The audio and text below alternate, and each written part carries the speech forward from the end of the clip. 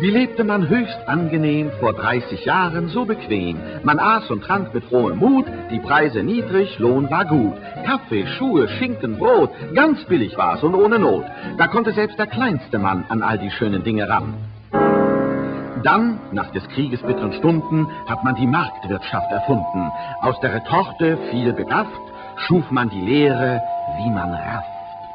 Es wallet, brauset, siedet, zischt, wenn Geldgier sich mit Profit mischt.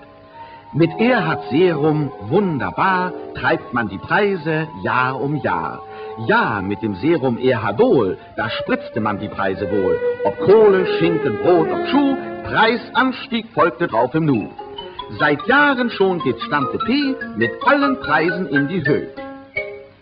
Der kleine Mann mit kargem Lohn hinkt hinterher seit langem schon. Was früher billig, preiswert war, war teurer nun von Jahr zu Jahr. Hau ruck! Hau ruck! Oh Jammergraus, die Teuerung wächst sich weiter aus. Nun der Verbraucher endlich weiß, bei Erhard zahlt man Überpreis. Und man beschließt, verkühlte Magen, Herrn Erhard einmal selbst zu fragen. In seinem Amt rollt er vom Pult, ihr seid da schließlich selber schuld. Nehmt Erhardol, den Zaubertrank.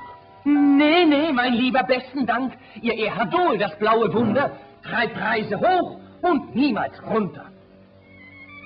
War das der Weisheit letzter Schluss? Zum Glück kommt jetzt Freund Pfiffikus. Her, ihr Leute, sein Tier aus Besen hilft gegen hohes Preisunwesen. Er will, dass auch der kleine Mann sich wieder alles leisten kann. Die SPD schafft dies Vertrauen. Ein jeder kann drum auf sie bauen. Und jetzt zur Wahl seid alle schlauer, nur SPD und Ollenhauer.